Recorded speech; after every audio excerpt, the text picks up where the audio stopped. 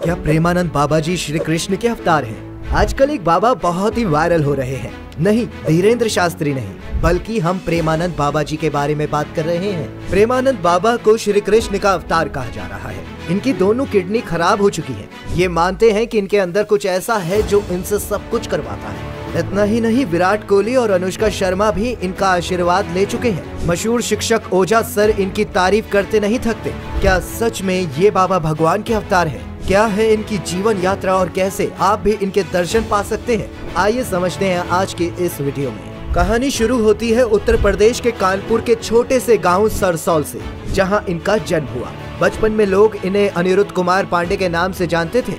ये शुरू से ही पीले वस्त्र धारण करते थे, जिसकी वजह से इन्हें पीले बाबा के नाम से भी जाने जाने लगा।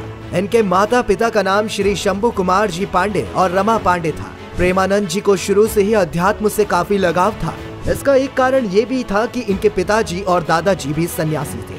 शुरू से ही इन्हें गंगा नदी किनारे बैठने का बेहद शौक था। अध्यात्म से लगाव के कारण प्रेमानंद जी महाराज ने बेहद कम उम्र से ही हनुमान चालीसा पढ़ना शुरू कर दिया था। प्रेमानंद जी ने ज़्यादा पढ़ाई तो नहीं की है, ये नवी कक्षा तक पढ़े हैं। जब प्रेमानंद जी महाराज पांचवी कक्षा में थे, जिस समय बच्चे खेल कूद करते हैं, उस समय इन्होंने गीता, श्री सुख सागर पढ़ना शुरू किया। स्कूल में पढ़ाई के दौरान उनके मन में बहुत सारे सवाल उठते थे। उत्तर निकालने के लिए उन्होंने श्री राम और श्री कृष्ण गोविंद हरे मुरारी का जाप किया। इनका मन शुरू से ही भगवान को ढूँढने के लिए बोलता था, लेकिन उम्र छोटी होने के कारण ये कहीं जा भी नहीं सकते थे। फाइनली जब वे नवी कक्षा में आए यानी जब बोर्ड की तैयारियाँ शुरू होती हैं, तब उन्होंने ईश्वर की खोज करने के लिए आध्यात्मिक जीवन जीने का दृढ़ निश्चय कर लिया था। उसके लिए वे सब कुछ त्यागने को तैयार थे। उन्होंने अपनी माँ को भी इस डिसीज़न के बारे में बताया। उस समय उनकी उम्र मात्र तेरह वर्ष की थी। खैर काफ़ी सोचने समझने के बाद तेरह साल की उम्र में इन्होंने घर को त्याग दिया।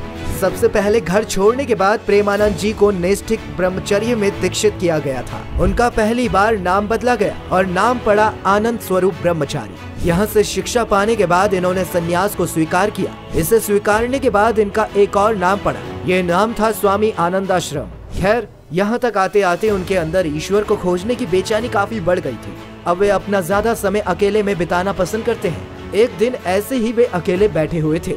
फिर होता ये है कि कोई अनजान साधु उनके पास आता है और कहता है कि महाराज, काशी के एक विश्वविद्यालय में रास लीला का आयोजन हो रहा है। बस, फिर प्रेमानंद जी भी रास लीला देखने पहुँचे, लेकिन उन्हें क्या मालूम था कि श्री कृष्ण की रास लीला उनके हृदय में बस जाएगी और उसके पश्चात भी एक महीने तक महाराज ने रास लीला देखी। लेकिन रास लीला करने आए हुए वृंदावन से कलाकार के जाने का समय आ चुका था। तब महाराज जी ने सोचा कि अब ये सब यहाँ से चले जाएँगे, मेरा क्या होगा? बस उसी दिन महाराज प्रेमानंद वृंदावन पहुँच गए और जाकर वहाँ भ्रमण करने लगे। प्रेमानंद जी महाराज को वृंदावन वाले महाराज नाम से भी जाने जाते हैं। श्री प्रेमानंद जी महाराज कुछ समय के बाद स्वामी जी की सलाह से और श्री नारायण दास भक्त माली के एक शिष्य की मदद से मथुरा जाने को तैयार हो गए। दोस्तों, आज के समय में वृंदावन में एक आध्यात्मिक ऑर्गेनाइजेशन है, जिसकी स्थापना प्रेमानंद महाराज जी के द्वारा हुई है। महाराज जी का मुख्य उद्देश्य था वृंदावन में भी विभिन्न धार्मिक कार्यों को करना और उनके माध्यम से प्रेम और शांति को फैलाना। इस ऑर्गेनाइजेटिव ऑनन के थ्रू ये लोगों के मन और हृदय को खुशी और शांति प्राप्त करने के लिए प्रभु का ध्यान, योग और अन्य आध्यात्मिक अभ्यासों को करने की सलाह देते हैं। महाराज जी ये सभी सेवाएँ निःशुल्क प्रदान करते हैं। इनकी उम्र दोस्तों साठ साल है। इनके बारे में ये लिखा गया है कि इनकी दोनों किडनी खराब है। वो भी लगभग सत्रह सालों से फिर भी ये जीवित है। दरअसल प्रेमानंद महाराज जी ने लगभग 45 वर्ष की उम्र में रामकृष्ण मिशन में अपनी शारीरिक समस्याओं की जाँच करवाई थी। तो जाँच के माध्यम से डॉक्टरों ने पाया कि उनकी दोनों किडनी खराब है। डॉक्टरों ने बताया कि उनका जीवन अधिक से अधिक पाँच वर्षों का है। लेकिन महाराज जी बताते हैं कि उनके ऊपर राधा रानी की ऐसी कृपा है कि अब तक सत्रह वर्ष हो गए हैं और वो अभी तक जीवित हैं। कुछ समय पहले क्रिकेटर विराट कोहली और बॉलीवुड एक्ट्रेस अनुष्का शर्मा भी इनसे मिलने आए थे। हालाँकि सोचने वाली बात तो ये थी कि वो विराट कोहली और अनुष्का शर्मा को जानते तक नहीं थे। हालाँकि जब लोगों ने उनका परिचय कराया, भी तो बाबा ने कोई विशेष प्रक्रिया नहीं दी। सामान्य भक्तों की तरह उन्हें आशीर्वाद दिया। श्री वर्तमान समय में प्रेमानंद जी महाराज वृंदावन के आश्रम में रह रहे हैं। उनका नंबर सार्वजनिक नहीं किया हुआ है। अगर आप उनके दर्शन करना चाहते हैं तो इस पते पर संपर्क ज़रूर करें। श्री हित राधा केली कुंज, वृंदावन, परिक्रमा मार्ग राह घाट वृंदावन, उत्तर प्रदेश। वृंदावन अट्ठाईस, ग्यारह, इक्कीस। तो दोस्तों, ये थी कहानी प्रेमानंद जी की।